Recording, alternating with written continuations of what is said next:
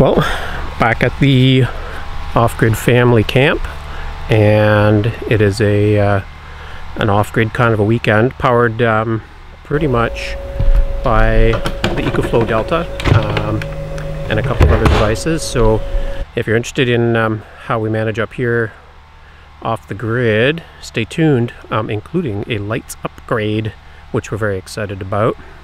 I don't know if I've really talked about this. Uh, lawnmower before and um, I just want to shout it out because I've had it for about four years and it is still cutting grass like a champion. I'm still running on the original 40 volt, uh, I have two 40 volt batteries that came with it um, and they're still working great. And if you've seen a lot of my videos before, then you know that uh, I use those same 40 volt batteries with a small inverter to charge cameras, flashlights, phones, and other devices on long camping trips because pound for pound they uh, they pack a lot of pack a lot of juice which is really helpful when you're off grid okay this these are 12 volt fluorescent bulbs. Uh, most of the light in here is window light but these are what are getting replaced on this trip so we might as well go ahead and unbox these 12 volt LED lights. So these are like a great, I need a knife, off-grid solution for anybody who's got um, a hunt camp, uh, maybe a trailer,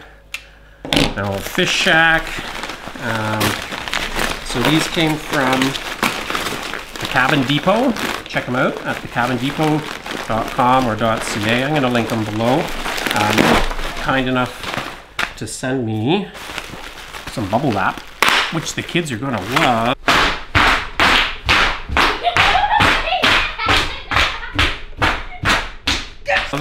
Um, but more importantly, these, uh, their own brand of 12 volt, of well wrapped 12 volt LED lights, which I'm very excited to use to replace, oh, I'm going to pop it all before the kids get at it, um, replace the fluorescent ones that are here for two reasons. Um, one, these are going to throw more light.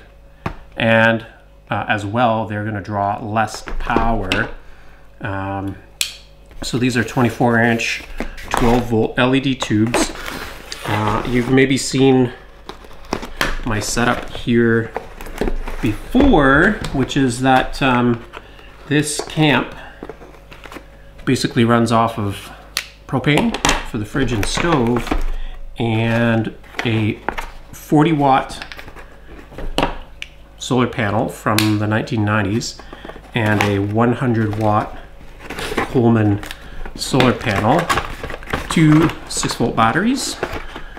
And um, and that powers everything else that we want to have here. Lights computers flashlights whatever. So uh, instruction manual mounting hardware and then the um, the strip itself. So we're going to wire this one up above me. Up there. Alright, I guess if I'm going to work on this light I have to turn it off, which means I'm going to work by headlamp light. So um, this is the Olight Perun, not the Mini Perun. And um, well, this looks this looks pretty easy. I should give you a little look at what's going on up here. So it's 12 volt. So the nice thing is um, it's a little easier to work with, I think, than 120 volt. Uh, but I've got my red, black, my black and white coming from my lights. So all I have to do is disconnect these guys and then disconnect this ballast put the new one in the same spot and then just reconnect the wires. So it's pretty straightforward. Let's give it a go.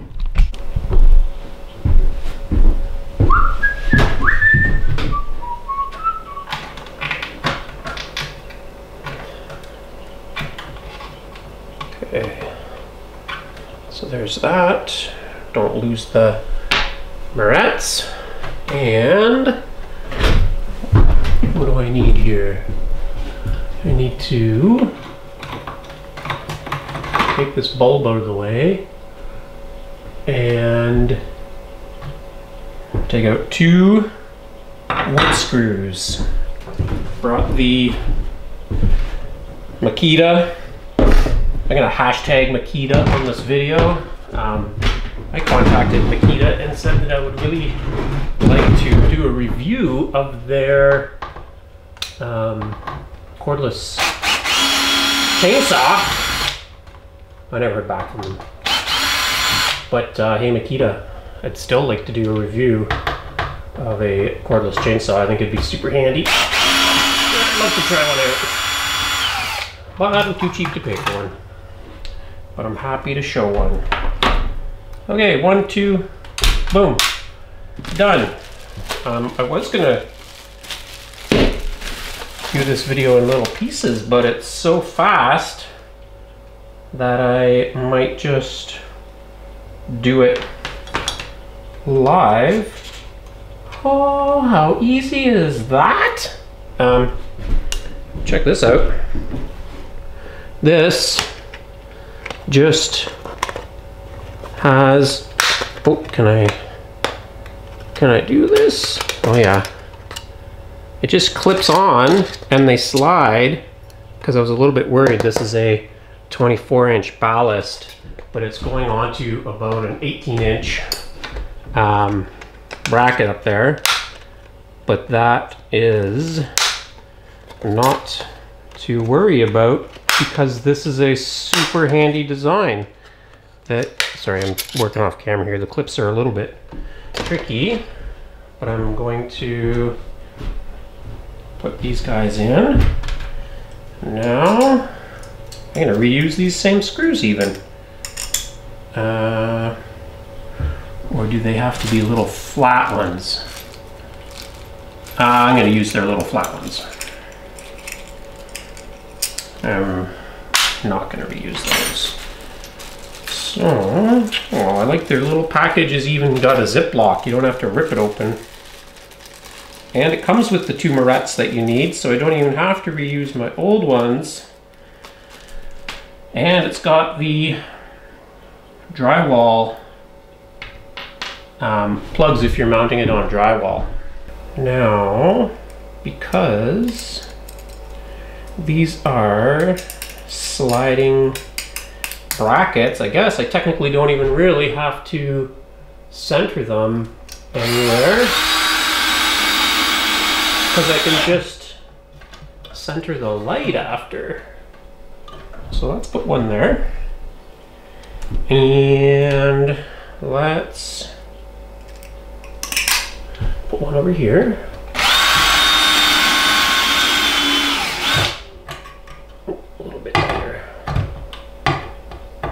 Oh, we've got the best, the best camp weather today. Uh, we've had a little bit of rainy weather coming up here, but today it is sunny and it is stinking hot. I'm sweating buckets right now. So, can I... Holy, I have like, I have enough cable to run this pretty much all the way over to my little fuse panel, but what I'm gonna do just for future flexibility is I'll just coil it all up and leave it attached above. And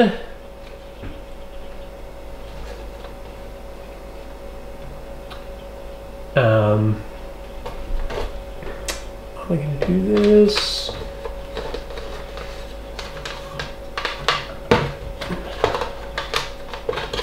That just going to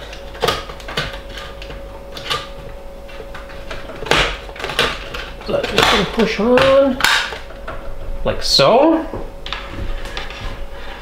Uh, now the one thing that I hadn't really planned for is that I'm gonna have to um, I'm gonna have to wire a uh, a switch into this. Okay, this um. Hey, want to see our new light? Sure. Tell me what you think. Oh, that's bright. That's really good. Is that better than the last one? Yeah. Uh huh. Brighter, less power. It's pretty awesome, eh? That literally lights up the whole room. It it actually yeah. It also throws light. and it doesn't like take like five seconds to light Yeah, it doesn't blink, blink, blink. There you go. Take it from a kid. Um. You finally got it out. Yeah, dude. Oh, oh, oh. oh. You ready? What do you think? It's more yellow than it is blue. Last time it was blue. Yes, so these are not the. Um, I think these are the yellow light, well, the warm light, not the cool light. So they have a little more yellow in them. Warm light's more do like anything? sunlight, and Yeah, these are better warm. for your eyes. It says right on the box, warm light. Isn't warm light closer to sunlight, and then your then it's better for your eyes than blue light, which is harsh and like. Yeah, maybe. Oh, hey, also look, um, Cabin Depot sent you guys some. Uh, oh, yeah. It's like Ash. Look, look what I have over here.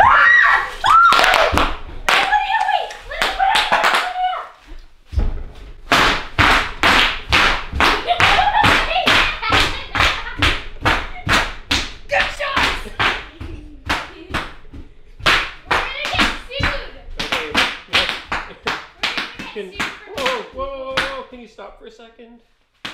Just for a second, like for a minute? Why? You must have almost popped them all by now because I just know. wanted to say what I did. I stole the switch out of the old ballast and I wired it in. It's not set up properly, but I definitely for this video wanted to show the light working on a switch. I'm gonna put in a better switch because this one's a little bit exposed. Um, but this was a good upgrade. And right? so is the bubble wrap. And the bubble wrap is a huge hit. If you want bubble wrap, uh, order something breakable from the Cabin Depot. Link below. www.bubblewrapscams.com. Bu- bubblewrapscams.com. Wait, I was like bubble wrap, but it's a scam because there's no more wrap. It's all. I mean, there's no more bubbles. It's all wrap. Yeah, and then the bubble wraps. Okay, okay, okay. Still throwing some beautiful light. We had a great night last night, um, and everybody decided that they're really fond of these new LED lights. Um, so just for comparison, these old fluorescent tubes are oh that one's different. That's a 15 watt tube. And this one here is also a 15 watt tube. So there's 30 watts there. The new Kedron LED is a 20 watt bulb. So it's using two-thirds the amount of power um, but I think it's throwing about twice as much light. So the next time I come up I'm going to install the other 20 watt LED on this um, bracket here. So we'll get more more kitchen light. Look at my messy kitchen um, and uh, and I think that'll be a lot better. I just want to pick up a better switch for it so I don't have a switch dangling I'm going to pick up a 12 volt switch that can just be attached here to um, turn the light off and on so Cabin Depot that's where those lights came from they also they're pretty much like a one-stop shop for um, for off-grid stuff. They got propane appliances, fridges and stoves. They've got uh, 12 volt refrigerators. Um, pretty much anything you can think of. I'm in the shadows um, that you might need for for off-grid living. So pretty cool spot. Um, I went for a little walk yesterday. Check this out. Unrelated to lights, but look at them in the light yellow chanterelles, black chanterelles. Um, so nice little haul of mushrooms here. I think I'm going to put together I think I'm gonna get a, a bowl that doesn't rock. I'm gonna put together a nice omelet for the kids later. Okay, back in my home kitchen and what I want to do is to make a chanterelle quiche with these beautiful mushrooms that I harvested. So, first thing I'm going to do is get about that many of them and do a little check here for bugs and slugs and pine needles. Have a little look through. So there's often, because of the funnel shape of the black chanterelles, they often um, often have stuff inside of them. So it's a good idea to split each one open and have a look inside. There's often a little bit of dirt. Um, you may be more or less concerned about the cleanliness of your mushrooms than I am. I'm often fairly cursory in my going over for bugs and slugs and things. Like I certainly don't want to eat a, a gritty quiche um, and I don't want to eat that slug. So that's coming out of there. Um, I have a little brush that I could use too.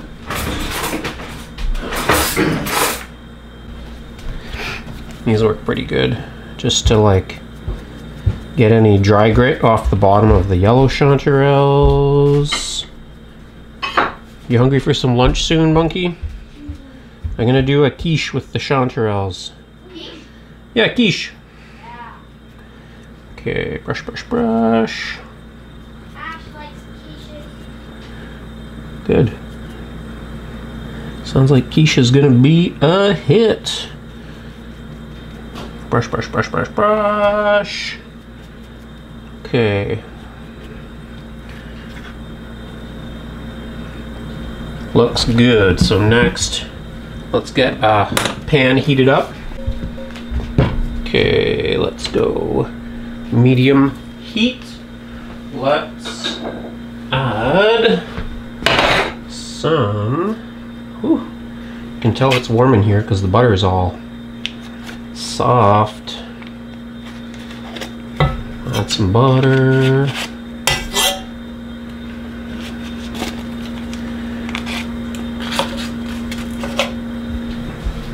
Let's chop some mushrooms. Uh, oh, I know what I want to do also.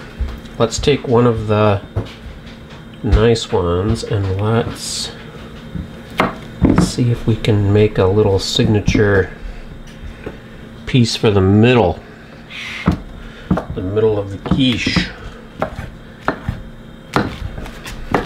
And then otherwise nothing nothing too fancy here. Just get them into smaller pieces quiche's pieces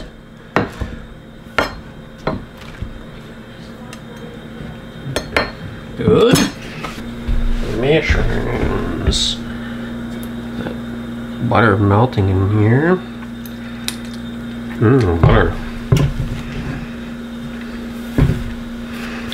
So we're to pre-cook those.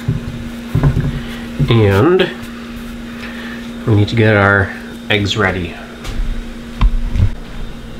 I have some pre-cracked eggs because they didn't travel very well from camp. So let's try and recover few of those. Little messy. We don't want those eggshells in there. Pick those out. Here's a trick for you. The best way to get an eggshell out is with another eggshell. Surprisingly. And there's a pre-cracked egg. These are all farm eggs from my parents' place. Let's use, it's a pretty shallow pie crust and there's going to be lots of chanterelles. So let's use six eggs. Is that four? Five, a little more eggshell in there just Fish that out.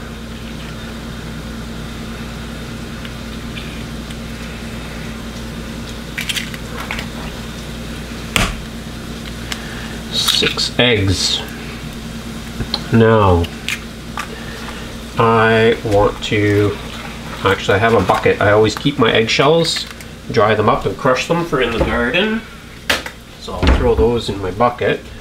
Let's add a little bit of milk to this. If I had a little bit of cream, I would add a little bit of cream. Put in about yay amount. Let's shred our cheese right in here. And then we'll slice some cheese to go on the top. Let's move these out of the way.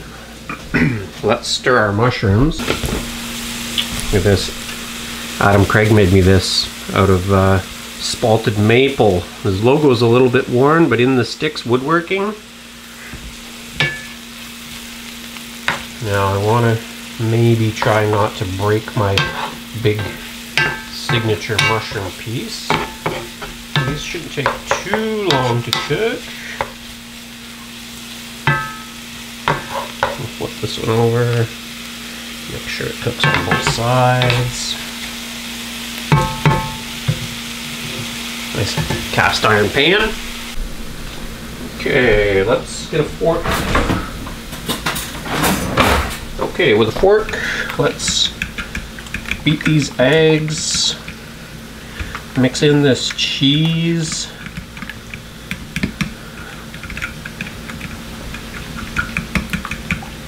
Okay. Set that aside. Uh, let's do some slices for on top.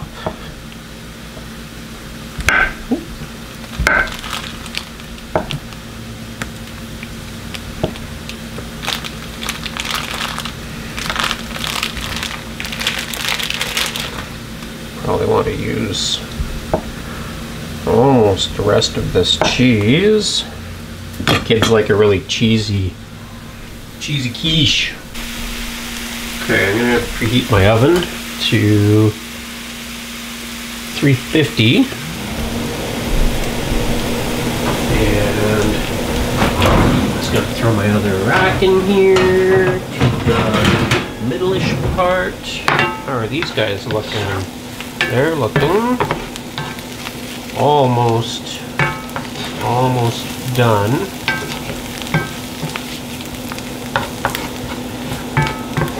And our signature one is a little bit slower to cook because it's the biggest piece. So let's let's move these mushrooms into our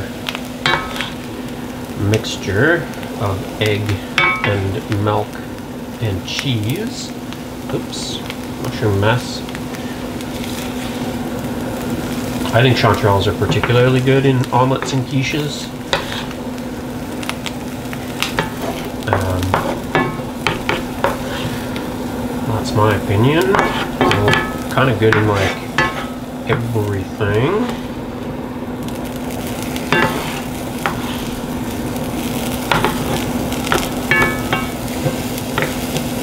In there. One that I dropped here. Let this guy keep cooking a little bit. Oven is preheating and I've got a cheater pie crust right there. I'm going to dust it with a little bit of flour to keep the bottom from getting soggy. Maybe a tablespoon.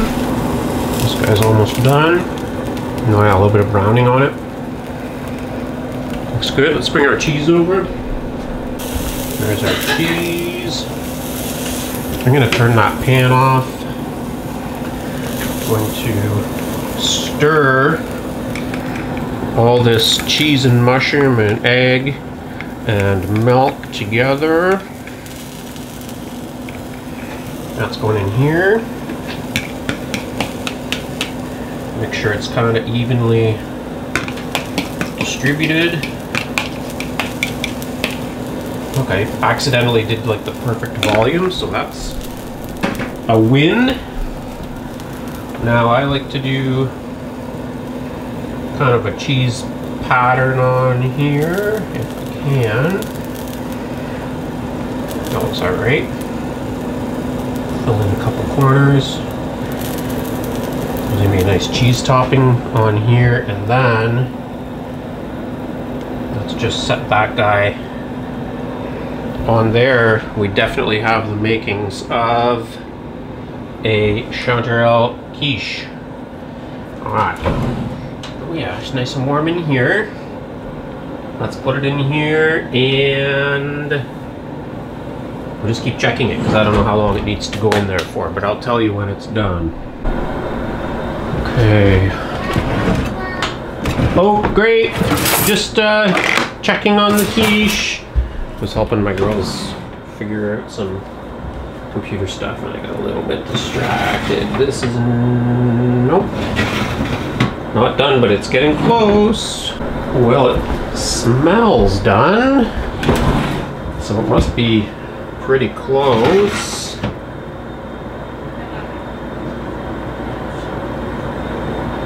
Well, it's coming out pretty clean, although it looks a little bit moist still. Wow, does it ever look good? Ooh, it's just all melted cheese. No, couple more minutes, but see that nice little signature mushroom in there?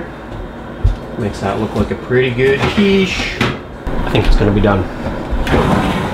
It looks done, smells done. Oh yeah, it's really puffed up. Look at the way the pastry's lifted off the pan here. That looks so good. There's your chanterelle quiche. Now, all that's to be done is to eat it. You guys, you guys want to see us have a bite? Okay, hang in there. First, we gotta let it cool.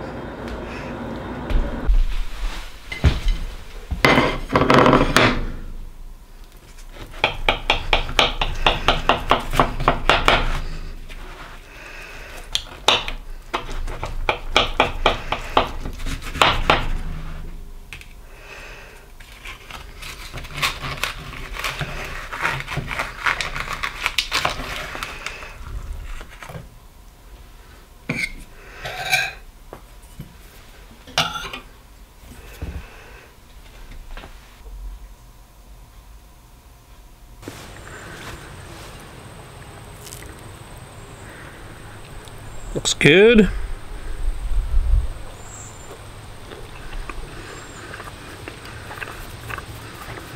Hmm.